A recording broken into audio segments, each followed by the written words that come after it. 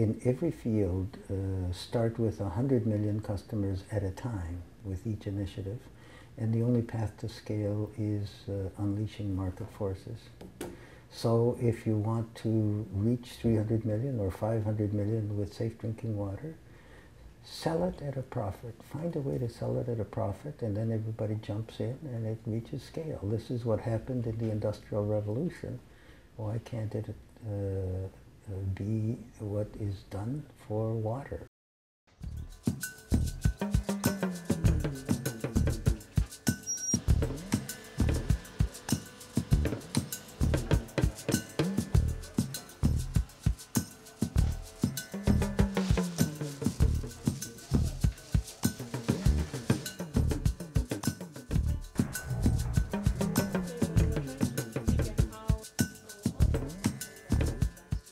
It's been a journey. It's been a very interesting journey, um, especially being a family business that has come from very informal sector to small small enterprise, and uh, it's been a very interesting journey, especially because we've been impacting lives. Water is fundamental to uh, to have a chance to, to progress uh, and to fight uh, poverty. It's not sufficient but it's sufficient, but it's absolutely necessary. Uh, it is near, so you can fetch water, go and continue with other, uh, with other works. You can see this area we are, it is very hard. So life is very hard. So it is not just a matter of water. If after fetching water, you can do other things. So we fetch water for about 10 minutes. After that, the rest of the day, you can do other works.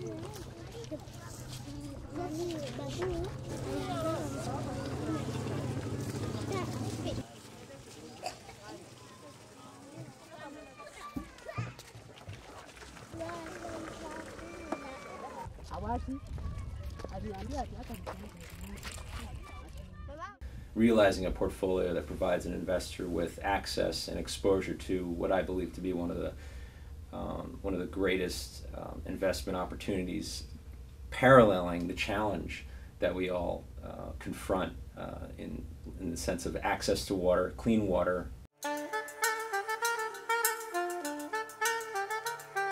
la salud y con el agua filtrada tenemos salud. Estamos muy agradecidos porque hemos, hemos tenido, pues ya tenemos el filtro para tomar el agua de salud, el agua filtrada porque sabemos que fuente de salud el agua filtrada. You should always also estimate and appreciate the dignity of poor people and give them something that has status and self-confidence and respect. So putting a high value into a product or a service is absolutely important. How you have them pay is another thing. And that should be easy and, uh, and, and reaching a lot of people. When you purchase something, when you're living on less than four dollars a day, when you make a choice and you purchase something to improve your life, um, you have more of a tendency to invest your time in, more of a, a tendency to take care of it. You want to become rich? Drink safe water.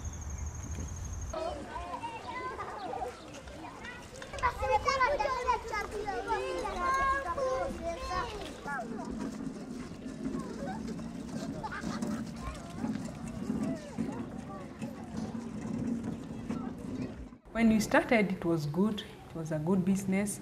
Uh, and now I cannot say it's not all that bad because it's, it's, it's sustaining us. The thing with water is always high priority, but then people are not willing to pay what it costs to maintain because they've never had to. I think it's again this thing of subsidy.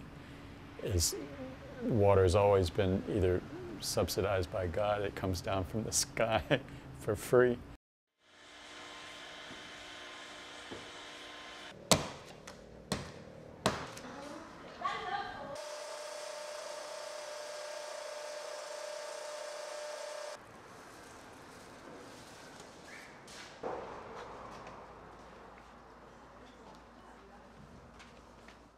I feel that if you are being subsidized heavily, then you run the risk yeah, of achieving something on a temporary basis. Yeah, and not for, for or not, not on, on the long run.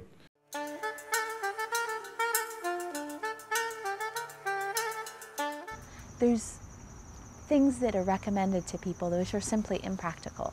They take multiple, multiple steps or they, they need lots of training or there's assumptions based around education that just doesn't exist. Like, oh, people will understand this. Well, yes, if they'd had an education, they would understand it. They, they're capable of understanding it, but they don't have the background. So when we are training and promoting, we talk about all the technologies, giving their advantages and limitations. And then it is for the household or for the user to choose the most appropriate technology.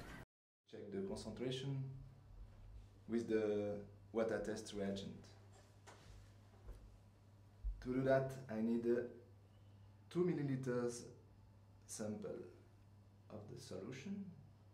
What we have learned is that we we have a role in providing a technology, but if we don't uh, bring it together with uh, whole range of other uh, things, um, this technology has limits and will not be used. Simply the fact that it is technically possible to do something doesn't mean it's affordable, accessible, in demand, would be adopted, would be effective in the real world. On the other hand, sometimes we make our life much too complicated and we, we, we seek to map and describe every factor. Um, I think one of the things we've learned from household water treatment and safe storage is we can get on, we can try things, we can learn what works, we can build on successes, and we can move on from failures. As an organization, we see um, ourselves as a model for other NGOs and how we operate, and we just actually hosted a corporate breakfast on social investment at a, in our hometown in Calgary in Canada to raise awareness with um, CEOs and uh, those responsible for corporate social responsibility within their corporations.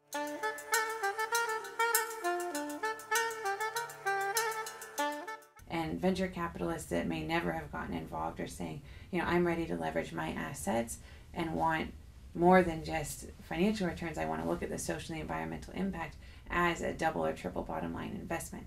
In the developing world, I think there's a number of impact investors, and again, I think that's one of the mindset shifts that needs to be taking place, and that we apply our models of philanthropy or our models of investing, um, where there's different models that are applied on in different geographical contexts.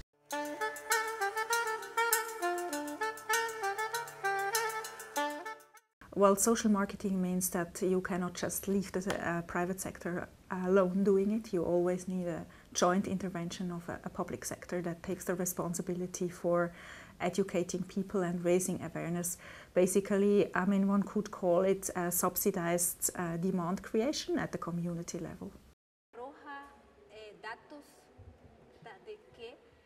bueno, si estamos ahorita, todo lo que se habla calentamiento global, tiene un impacto hasta ahora porque eso viene desde atrás. Entonces, nosotros primero tenemos que conocer la historia. Para saber cómo poder actuar ahora. We are always emphasizing the differences in culture. But I believe as the body is always the same, it's also the mind. But there are differences. For example, in one culture, social influence, social pressure is very high, in the other, it's very low. And I, it's more about frequencies and, and importance of the factors on behavior than totally different behavior. The appeal is that they should be able to very shortly see a reduction in, in the number of diarrhea cases in the family, and thereby they are interested in continuing on to use the product. That's what really creates the user acceptability. Afterwards, it's a question of design that makes it easier to use in everyday life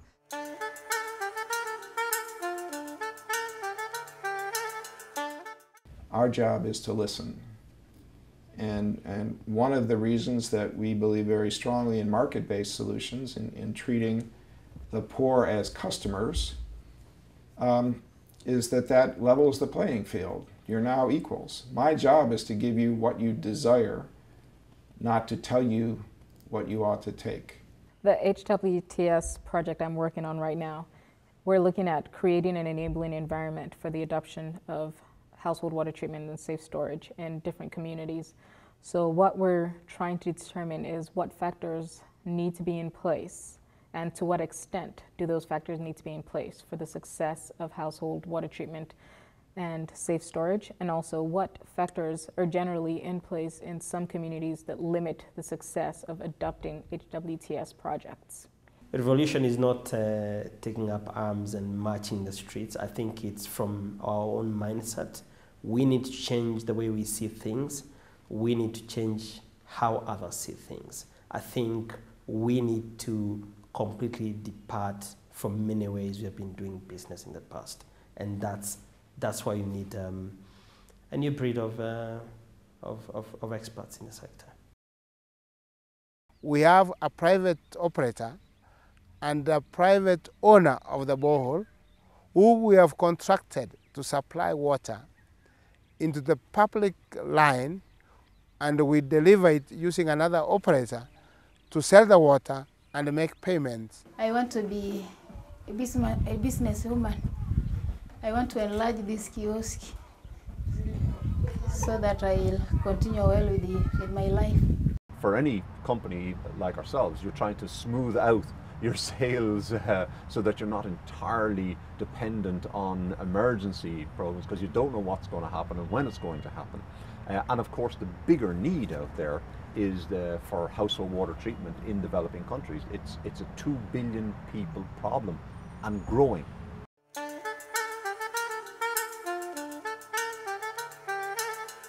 I'm not talking about businesses, corporates, I'm also talking about foundations, aid agencies. So we're like, business as usual doesn't work, right? It's what we've done now for 20 years. These successes, some of them bigger than others, but we need to rethink the way we do, we do, we do increase access to safe water. And if we don't, if you guys don't do it, nobody else will do it. So Kim LaPaglia, and I would classify myself as a social entrepreneur which uh, I define, yes, absolutely, social entrepreneur, uh, define as um, not someone who gives someone a fish or teaches to fish, but changes the fishing industry. Uh, why not take on a big challenge? The, the Water Users Association, they have to make sure that the Karagita water users get enough water and at a cheaper price and clean water. And the water is nearer to their houses, so they are we oversee that they get water every day. But I would like to know whether you and you together are willing to put your product in the same basket to provide Tanzania ceramic filters.